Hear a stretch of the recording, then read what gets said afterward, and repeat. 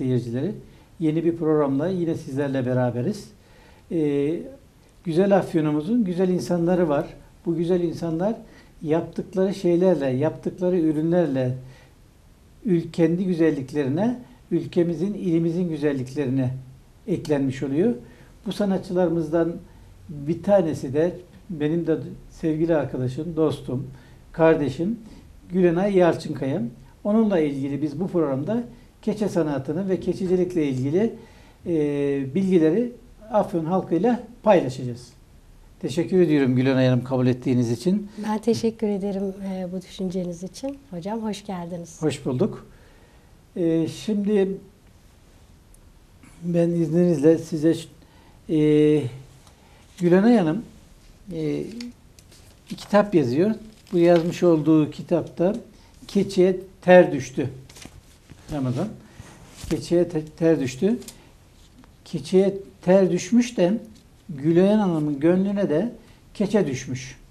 Ve bu gönlüne düşmek bambaşka bir şey. Gönlüne düşmek o düşenin daha güzel, daha gü- güzel yerlere oturtmak için çaba sarf etmesi gerekir. Bu konuda da hiç durmadan çalışmış, güzel eserler ortaya koymuş. Biz bunları göreceğiz şimdi. Kendisinden bu konuda bir bilgi alalım bakalım. Neye düştü size keçe? Gönlünüze düştü. Hocam tesadüfi olarak e, işte e, Keçeciler Çarşısı'nda e, keçecilerimizle ilgili bir ziyaretten sonra benim gönlüme düştü yavaş yavaş böyle hazır keçelerle ufak tefek şeyler yaparken keçecilerimizin yaptıkları daha çok ilgimi çekti. E, bu işin içinde buldum kendimi. E, ilk zamanlar e, ben keçe yaptığımın da çok farkında değildim. Yani bu işin benim hayatıma bu kadar çok gireceğini de düşünmemiştim. E, o arada da başka sanatlarla da ilgili çalışmalarım oldu. Çeşitli halk eğitim kurslarından e, faydalandım. Kültür Bakanlığı'nın Ebru kursu vardı. Daha çok Ebru'da derinleşeceğimi düşünüyordum ama kendimi daha çok keçenin içinde buldum. E, tabii bu benim zaman içerisindeki çalışmalarım muhtemelen sanatsal diyebileceğimiz el işleri, el sanatları. E, benim keçe ile ilgili serüvenime renk kattı. Yani e, bir folklorik bebek, ebru, e, onun dışında çeşitli e, boyama sanatları, cam boyama, kumaş boyama gibi. Onların hepsinin muhtemelen resim çalışmıştım bu arada yine. E, hepsinin bana bir katkısı olduğunu düşünüyorum. E, ben keçeyi yaparken sürekli e, yani bunlar benim önüme geldi. Bir şeyi düşündüğüm zaman, hayal ettiğim zaman e, onu işte bir bebek yaparken e, bir figür ortaya çıkartacağım zaman daha önceki muhtemelen çalıştığım folklorik bebek çalışmalarının bir etkisi olmuştur. Ama ben sonuca hep keçeyle gittim. E, veya bir tablo oluşturmak istediğim zaman yine e, muhtemelen bunda resim çalışmalarımın etkisi olmuştur. Renk çalışmalarımın etkisi olmuştur. E, bunların hepsi bende harmanlanmış ama sonuca artık sadece keçeyle varır oldum. E, bu şekilde hocam e, benim yaptığım işler e, 2005'e kadar bir e, öğrenme sürecim olduğunu düşünüyorum. 2000-2005 arasında. E, ustalarımızı izleyerek e, Yaşar Kocataş ustamın ustamın atölyesinde daha çok zaman geçirip e, Allah razı olsun onun bilgilerinden faydalanarak ben de bir nevi çıraklık diyebileceğimiz bir süreçten sonra daha da hala öğrenmeye devam ediyoruz. Yani durmak Evet, yok evet. bu konuda da. E, hem keçe hususunda hem de diğer e, bu sanata katılabilecek, katabileceğim ne var, e, kendimi nasıl geliştirebilirim? E, başka e, sanatlarla ve e, işlerle de yine uğraşmaya devam ediyorum.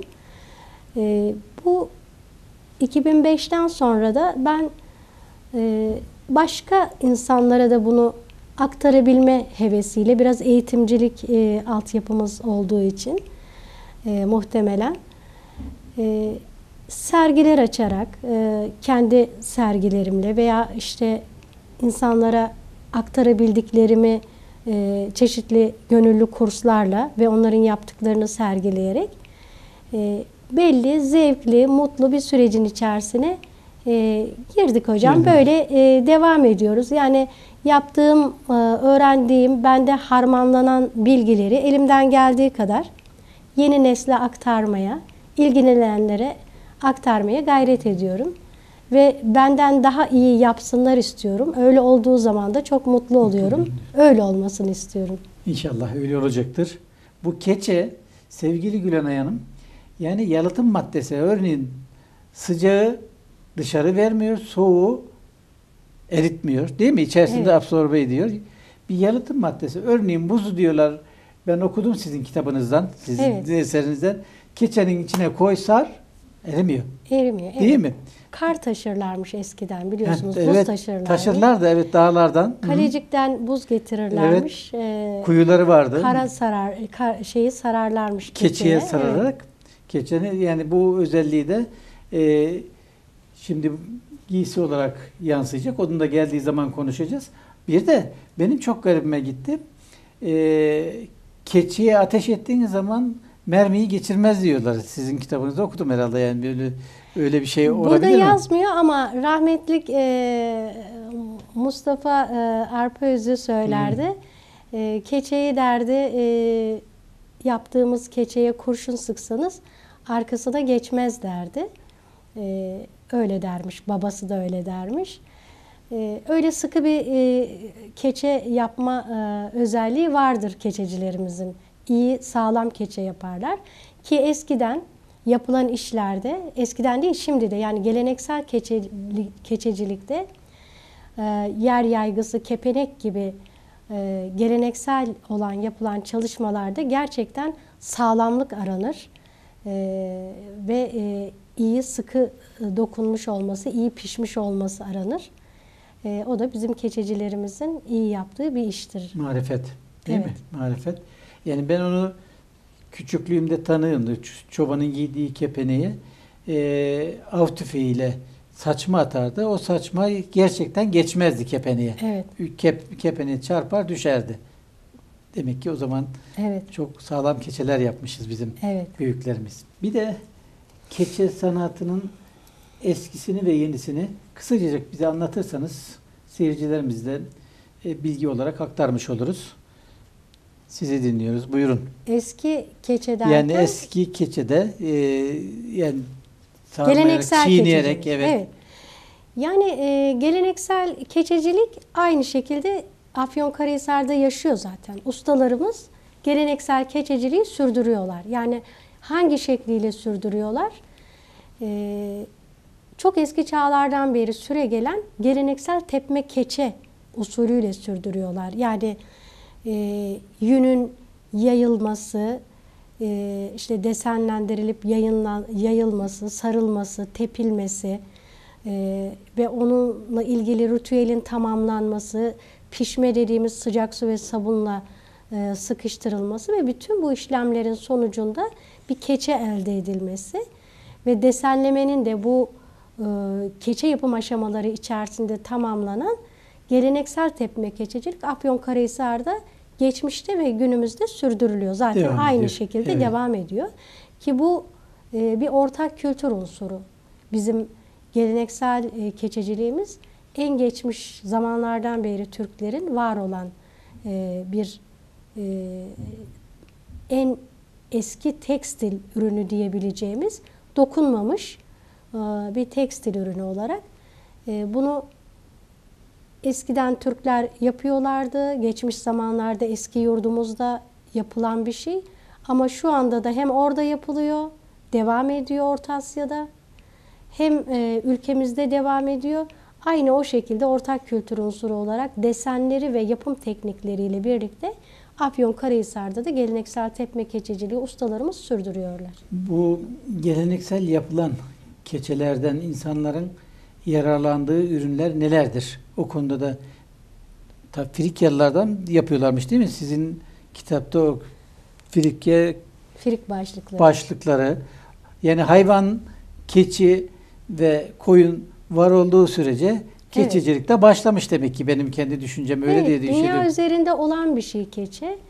Ee, tabii biz e, çeşitli iklim şartları ve kültür özelliklerinden dolayı bunun Orta Asya'da Türkler ve akraba topluluklar tarafından yapıldığını düşünüyoruz tarihi verilere göre. Ee, ama aynı zamanda e, diğer coğrafyalarda da görülmüş olan e, bir şey. Tabii Anadolu'da e, Firikler, e, Hititler, Hititlerin başlıklarının da e, keçi Keçi, olduğu evet. varsayılıyor bu Hitit kabartmalarındaki savaşçıların başlıklarından. Yine Hititlerin, e, şey e, Firiklerin Afyonkarahisar ve çevresini de kapsayan büyük bir coğrafyada e, var olmuş olan Firiklerin de yine başlıklarının keçi olduğu varsayılıyor. Tabi bununla ilgili de bizim çalışmalarımızda olmuştu bu keçe başlıkların doğru şekilde yorumlanması ile ilgili.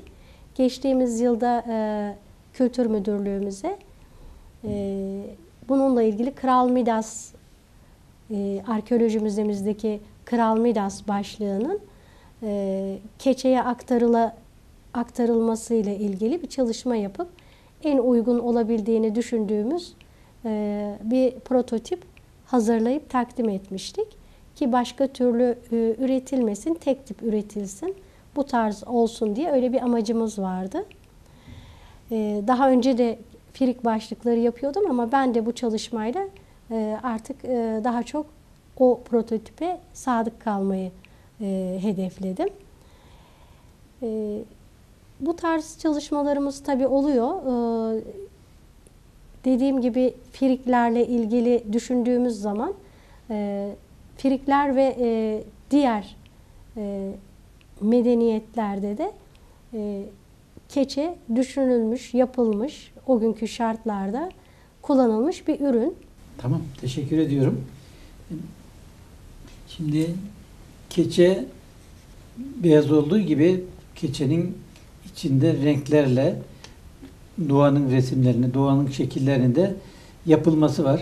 En çok Türk keçiciliğinde kullanılan renkler hangisi ve bu renkler, kullanılan renkler hangi motiflere eşlik etmiş, hangi motiflere renk vermiş, canlılık getirmiş?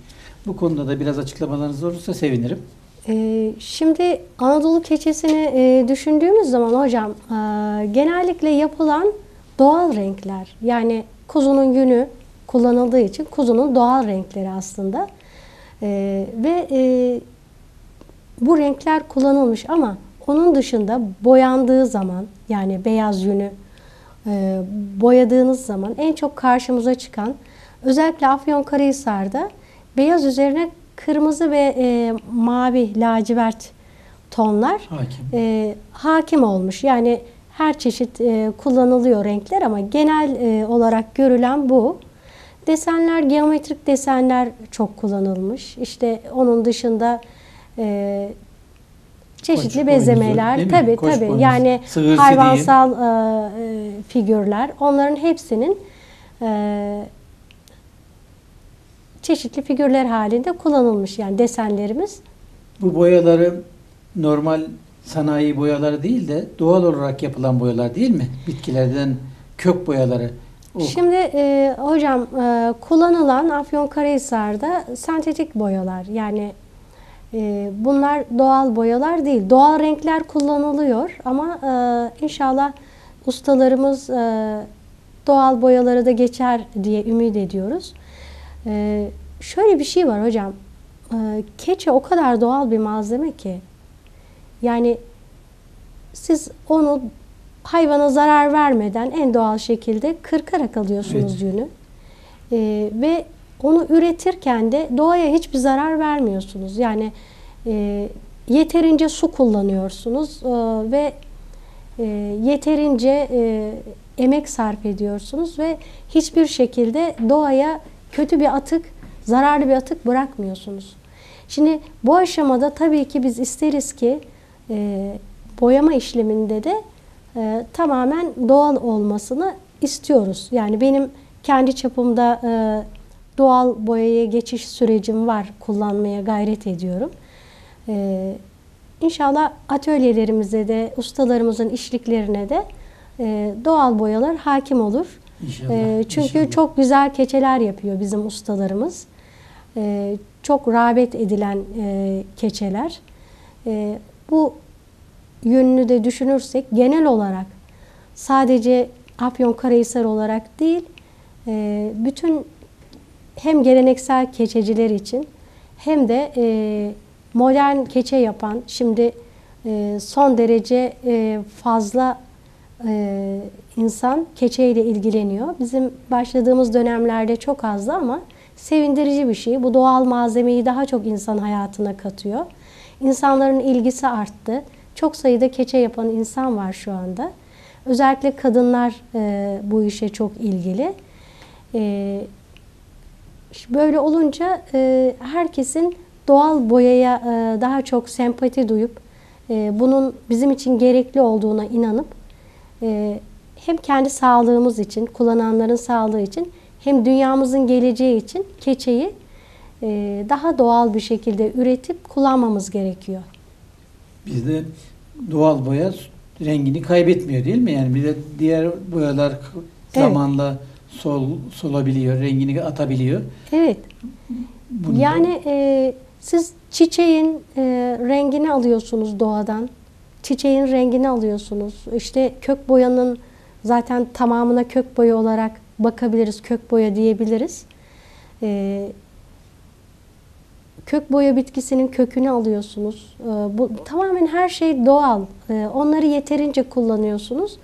Ve bu e, güneşin altında solmuyor. Yani rengini atmıyor. Artık o o yünün üzerinde o renkler kalıcı oluyor. Evet. Güzel e, bir e, ürün haline geliyor. Biraz önce sözünüzde bir isim geçti konuşurken.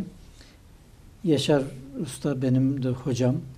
Evet. Koca başta değil mi? Kocataş. Kocataş pardon. Ee, Ahmet Yaşar Kocataş. Ahmet Yaşar Kocataş.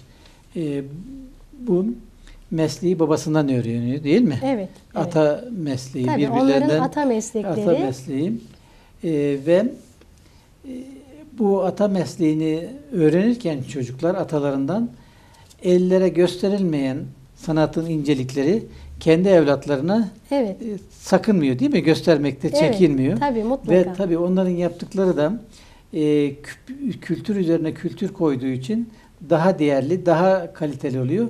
Ve bu Yaşar ustamız da babasıyla beraber e, bu keçiciliği Afyon'da en iyi şekilde duyuran, reklamını yapan e, bir abimiz, büyüğümüz diyeyim. Hatta UNICEF'te bunun yapmış olduğu e, keçiyi değerlendirerek yaşayan insan de Evet, UNESCO'nun evet 2016'da 2016'da e, UNESCO'nun yaşayan insan hazinesi olarak e, kaydedildi ustamız. Allah Ve- selamet versin, Amin, amin. sağlıklı ömürler versin. ve Cumhurbaşkanı tarafından da o Evet. ödül köşke çağrılarak değil Evet, mi? Takdim edildi. Takdim edildi. Bizim de gururumuz oldu Evet. ve şey ettikten sonra aldıktan sonra bizim arkadaş grubumuz var. Sizin de benim de olduğumuz oraya getirmişti. Orada sohbetini etmiştik. Evet, evet. Hatırlıyorsun değil mi? Tabii. Hı hı.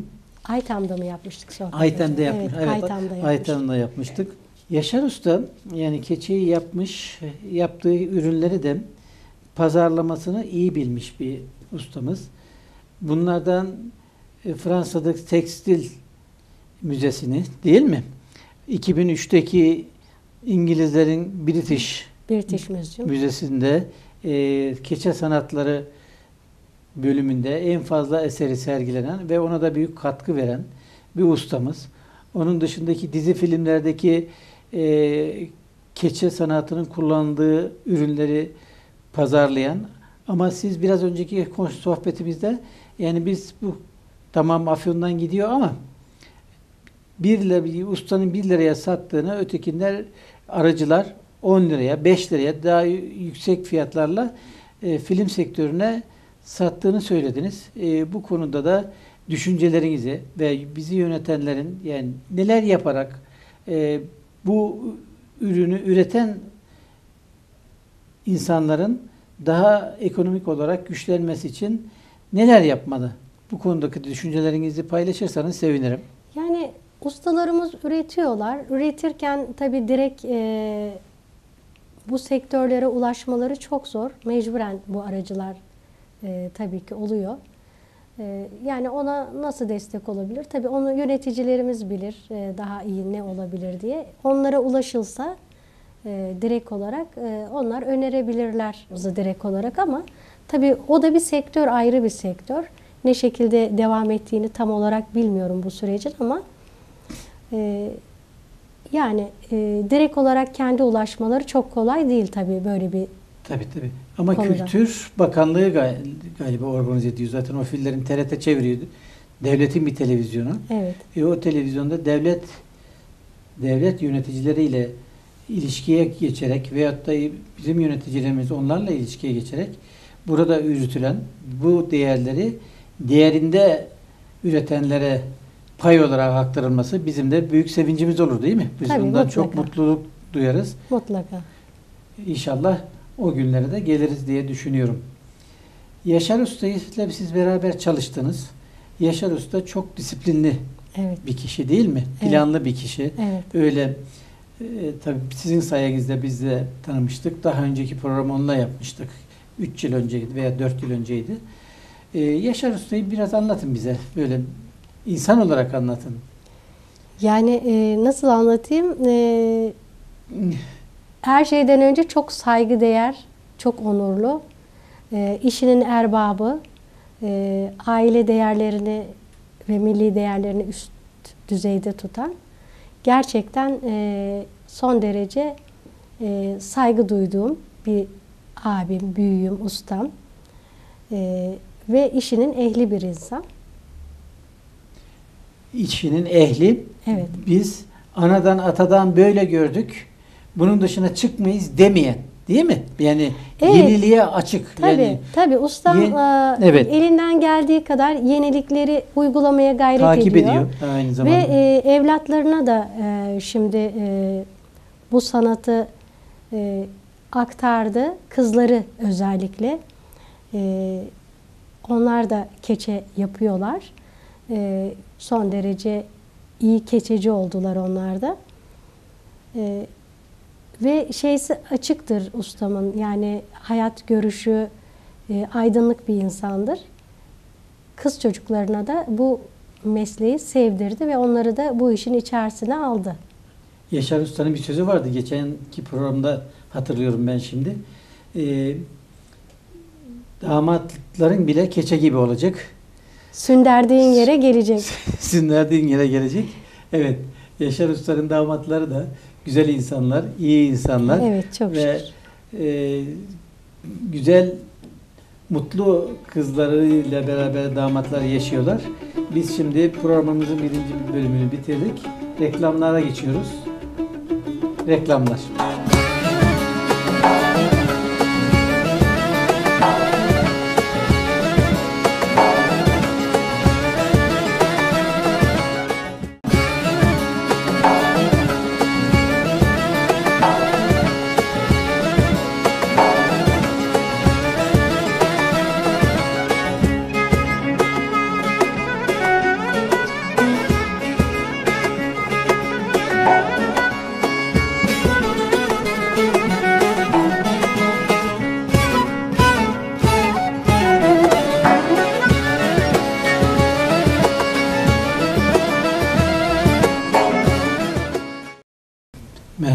tekrar Gülenay Hanım. Ee, şimdi keçeden geçmişte kepenik, yaygı değil mi? Yani Evet. Böyle pencerelere kapak veyahut da camilerimizde var. Bizim Kapı imaret keçeleri, evet. kapı keçeleri çok büyük. Evet. Kaldırarak zor iki kişi ancak kaldırarak Evet. şey edebiliyoruz. Soğuktan korunuyor. O ürünlerimiz var. Ama siz bu geleneksel kullanılan ürünlerin yanına kendi yeteneğinizi, kendi hayalinizi de katarak çok daha farklı değişik ürünler ortaya koydunuz. Bu konuda bizimle yaptıklarınızı paylaşırsanız seviniriz. Buyurun anlatın söz sizde. Sağ olun. Ee, tabii geleneksel e, keçeciliğin üzerine benim yaptığım işler. Sonuçta geleneksel keçeyi öğrendikten sonra ben bunlara e, ne katabilirim diye daha doğrusu zaman akarken o süreç içerisinde biraz da kendiliğinden çıkıyor. Ben ne yapsam? Yani yün bana biraz yön veriyordu. Bahsettiğim gibi diğer el sanatları ile ilgili çalışmalarımın da bunda katkısı oldu. Ee, tablodur, diğer e, çalışmalardır. E, elimden geldiği kadar kendimden bir şeyler katmaya çalıştım. Tabii e, bunları yaparken de e, geleneksel keçenin üstüne inşa etmeye çalıştık. Günümüzde e, çok değişik çalışmalar yapan insanlar var. E, dünyada var, ülkemizde var. Herkes kendine göre e, tasarımsal işler yapıyorlar. E, ben de kendime göre e, kendi el yordamımla diyebileceğim ürünler çıkarttım. Hem kendi e, motiflerimizi kullanarak hem özgün e, motifler ya da tasarımlar yaparak e, kendime göre bir e, çalışma oluşturdum. Bunları yaparken e, mesela kendi kültürümüzden çok etkilendim. Bu kültürümüze ait e, desenleri e, diyelim ki nazar konusunu işlemiştik arkadaşlarımızla. E, nazar konusunu işlerken nazar motiflerini e, belli bir şekilde dizayn ettim. Çeşitli ürünler üzerinde giysiden yer yaygısına, çantadan örtülere ve işte kırlentlere kadar bu motifleri keçe olarak yorumladık. Ee, onun dışında masallarımız, Afyonkarahisar masallarını yine e, elimden geldiği kadar keçe olarak yorumlamaya gayret ettim. Onlarla ilgili çalışmalarımız oldu. Yani kültürümüzün yansımalarını bir şekilde nasıl ifade edebilirim diye. Ee, onları işte vazo, e, giysi, ayakkabı, terlik, bot, çizme, yelek, e, aklımıza gelebilen giysi çalışmalı olarak yaptım. Geleneksel usulde üretilmiş olanların yanı sıra tabi e, birazcık farklı şekilde üretilen, üretilenleri de var. Örneğin kumaşların üzerine e, keçeyi yedirmek e, ve onu bir giysi haline getirmek için e, eskiden tamamen işte geleneksel usulle onları tepip sıkıştırıp bir şekilde onları kumaşları da keçeleştirmeye gayret ediyordum ama sonra bir gün sevgili Dilek Yılmaz, Dilek Lökçü Yılmaz ben il dışındayken telefon açtı. Ben dedi bir şey buldum. Ne buldun?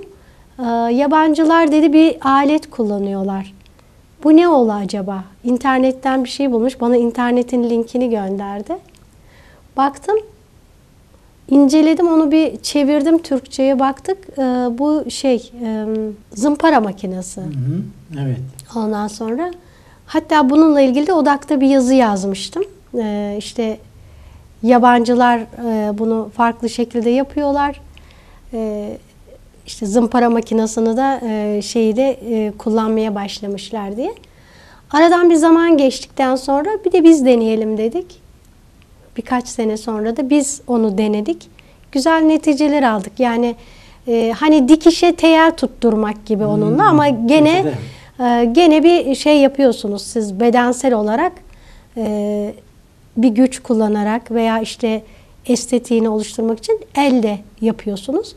Ama ilk anda yünü e, kumaşla buluşturmak için o makineden faydalandık ve faydalanmaya devam ediyoruz biz de. Ee, o dileğimizin e, dikkati sayesinde biz de öyle bir şeye e, kullanmaya başladık.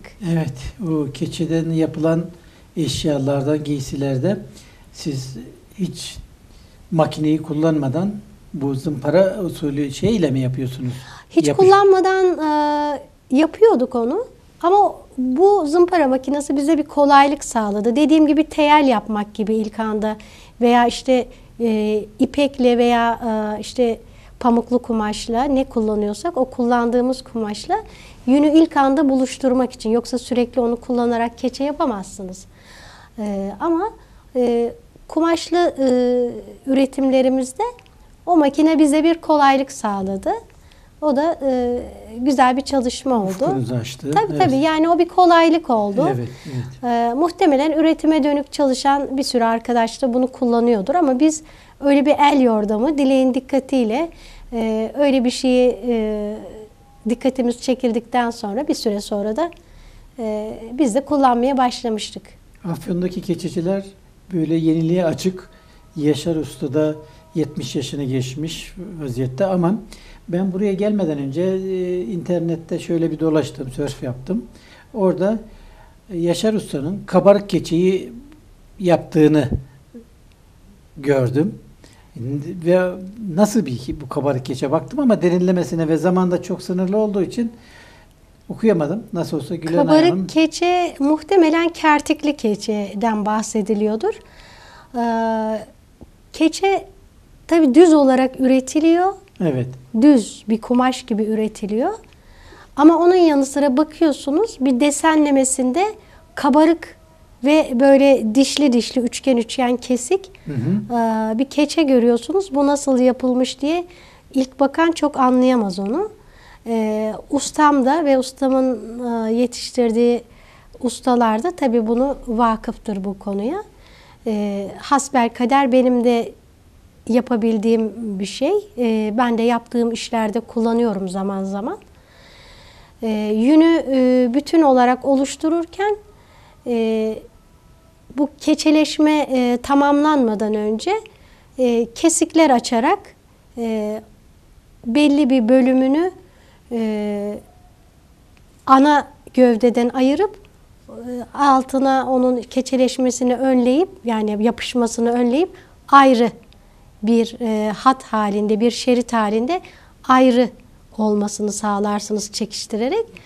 E, sonra işte altına bir keçeben dediğimiz e, ham keçe yerleştirilerek keçeleşme sürdürülür.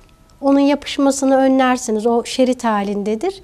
Keçeleşme bittikten sonra da onu üçgen üçgen keserek e, bir e, bütün e, yani bütünden ayrı e, motifleri kabarık hale getirirsiniz.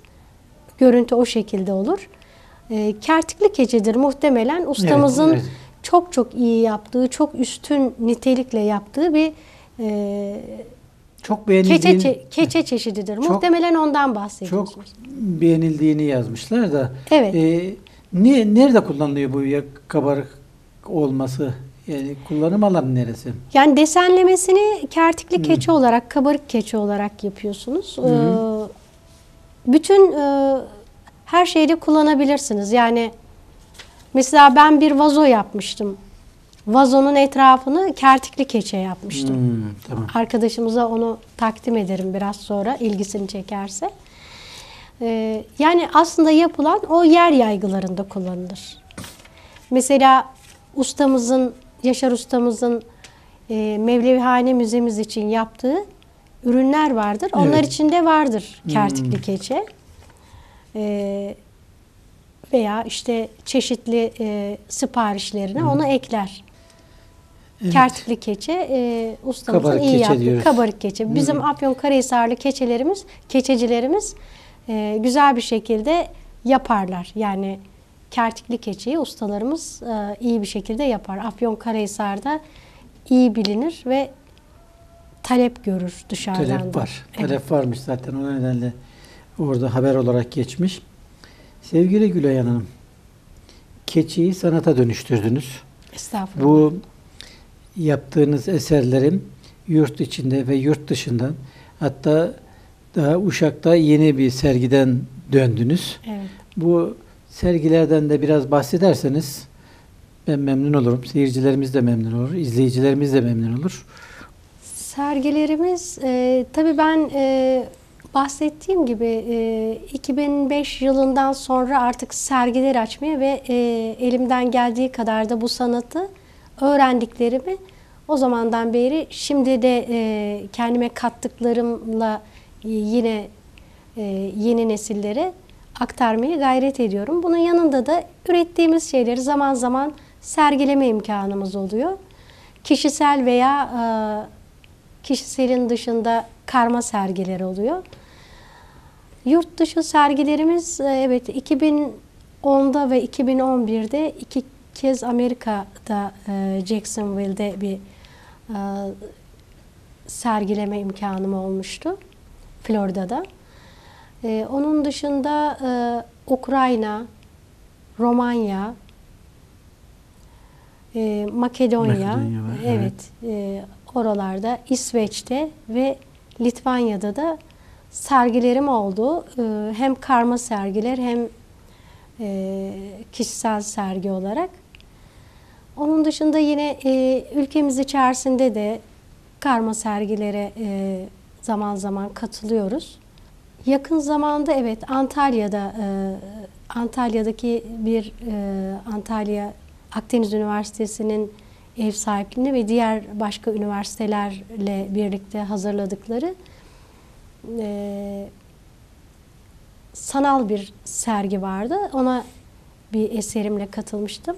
E, onun dışında Uşak'ta e, yine zanaattan sanata sempozyum ve e, jürili bir sergiye sergi olarak karma sergiye katıldım.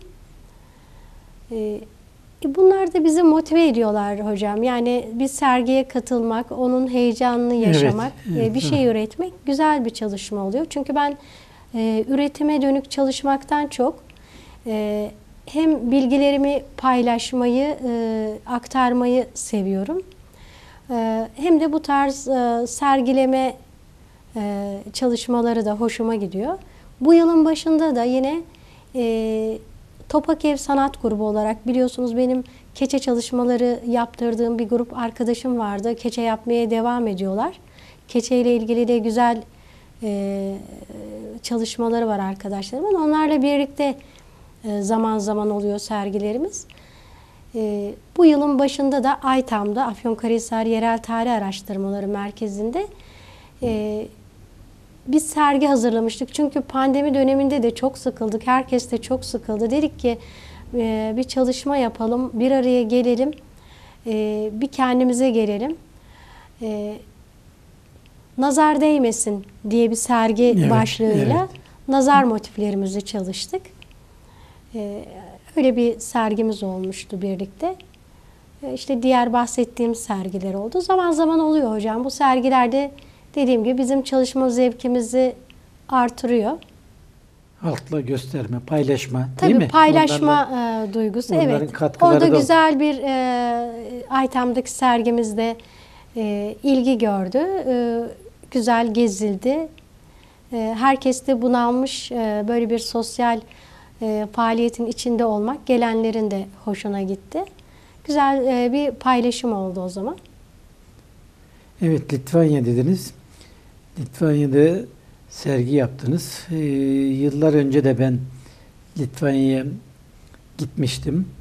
Siz oradayken arkadaşlara söyledim ama siz oradayken görememişler. Sizden sonra sizin serginizi gezmişler ve Afyon'da böyle güzel şeyler mi var? Bize niye göstermedin Veli Bey diyerek buraya gelmişlerdi onlar. Ve o kişilerden biri de Tatar asıllı bir Türk kızı aslında. İngilizce öğretmeni Zülfiye. E, buradan da Zülfiye'ye selam söylüyoruz. İnşallah e, Afyon'a gelirse tekrar biz ona bu güzellikleri tekrar gösteririz. Değil mi? İnşallah. Memnunuz Litvanya'dan. Tabii tabii Oradan- çok güzel anılarla döndük. Evet. e, Ee, çok güzel e, Tatariye müzeleri, bölgesi evet. Türklerin olduğu bir bölge Evet, zaten. evet.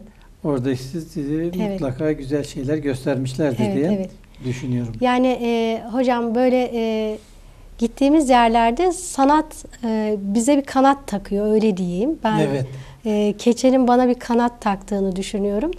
Keçenin sayesinde e, dünyanın çeşitli yerlerine gitmek, bir sürü insan tanımak, bir sürü ülkeyi e, elimizden geldiği kadar gezmek nasip oldu. Bu arada şunu da ifade edeyim. Benim yurt dışı gezilerim, e, yurt dışındaki çalışmalarım Halk Kültürü Araştırmaları Kurumu ile birlikte oluyor. Hı hı, hı. E, hem e, bildiriler hazırlayıp sunuyoruz gittiğimiz yerde hem de e, sergileme fırsatımız oluyor.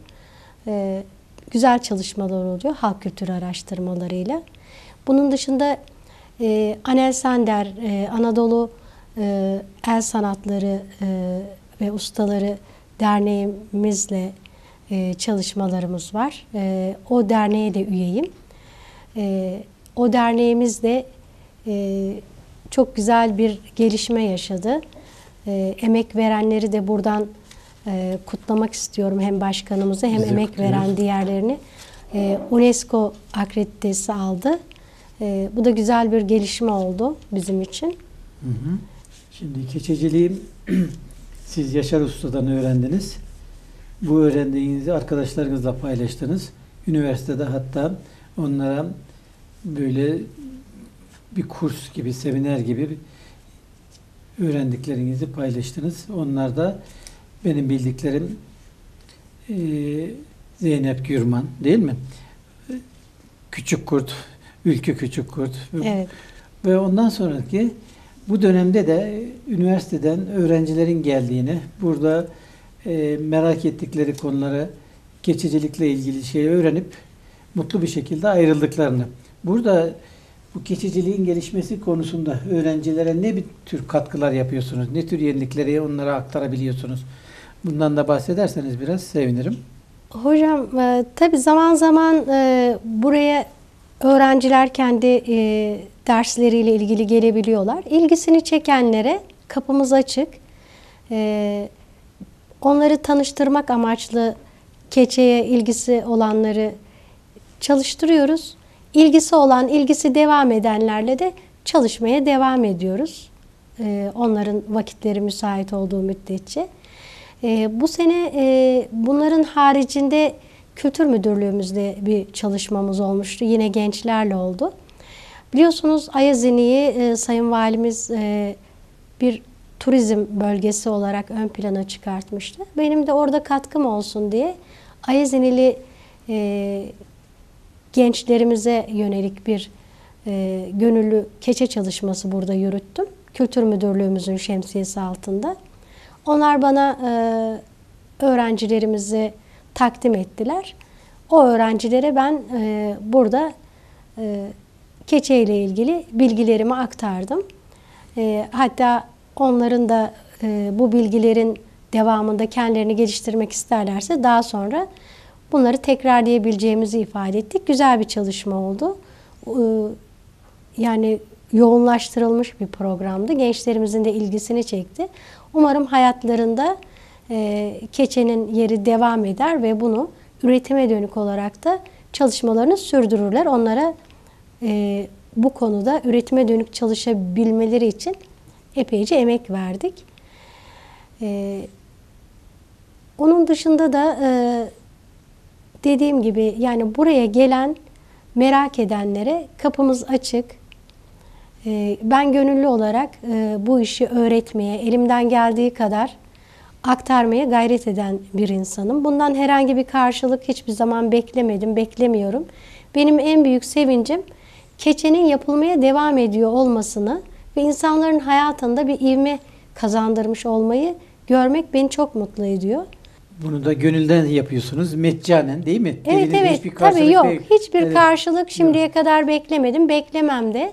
Ee, işte e, üniversitemizde birkaç yıl üst üste e, gönüllü çalışmalarımız olmuştu Yaşam Boyu Eğitim Merkezi'nde. Orada oldukça e, geniş bir kitleye hitap edebildik. Öyle çalışmalarımız oldu. Gönüllü çalışmalarımız. E, orada fizik tedavi ünitesindeki, üniversitenin fizik tedavi ünitesindeki hastalara yönelik bir çalışmamız olmuştu. E, oradaki insanların e, ölçümleri yapıldıktan sonra onları keçe çalıştırdıktan sonra da ölçümleri yapılmıştı ve keçenin fayda sağladığı görülmüştü. MS hastalarında bile e, iyi bir netice alınmıştı. E, onun dışında sosyal hizmetlerimizle çalışmamız olmuştu. Kültür Müdürlüğü bünyesinde Sosyal Hizmetler ve Kültür Müdürlüğü olarak 2012'deki çalışmalarda hocam bunlar. geçmişe dönük olarak. Evet. Neşeli keçe atölyesi açtık. Çocukları neşe içerisinde keçe yaptırdık. Onları bebeklerinin üzerine e, bütün bu giysi, ayakkabı, çizme, çanta, şapka e, ve yer yaygısı onların hepsini e, bir şekilde çocuklarımıza bebeklerinin ölçülerinde yaptırdık. E, yer yaygılarını yaparken geleneksel motiflerimizi tanıttık. Geleneksel motiflerimizi onların o minicik elleriyle minicik e, yer yaygıları yaptılar.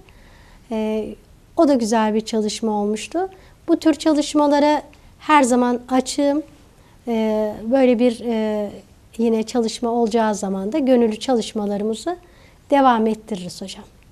Yani siz şimdi sivil toplum örgütlerine de bir mesaj ilettiniz.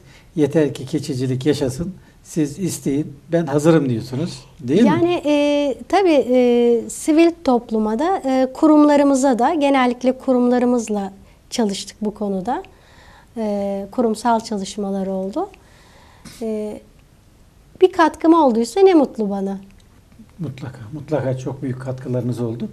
Şimdi gelelim üretilen malların pazarlanması ve bu pazarların oluşumunda e, bu çekim başlamadan önce e, ticaret odasının e, patent başvurusu yaptığını söylemiştiniz galiba değil mi? Hocam e, tabii e, Ee, bizim bir önerimiz olmuştu. E, Ticaret Odası Başkanımız da sağ olsun onu e, güzel karşıladı. Hüsnü Bey değil mi? Hüsnü Bey e, ve e, Ülke Hocam e, bu konuyla ilgili e, çalışma yapıyorlar birlikte. E, İnşallah e, Afyonkarahisar keçesi coğrafi bir işaret alırsa geleneksel e, yapısının dışında e, ve kalitesinin dışında üretim olmayacak. E, daha denetimli olacak. Fiyat politikaları muhtemelen e, kalitesi ölçüsünde olacak. E, İnşallah e, keçecilerimize de Afyonkarahisar'ımıza da hayırlı güzel bir iş olmasını dilerim. Ben İnşallah. e, üretime dönük çalışmadığım için yine gönüllü olarak ustalarımız için e, bu tarz çalışmaların e, iyi bir getirisi olmasını istiyorum. İnşallah, inşallah.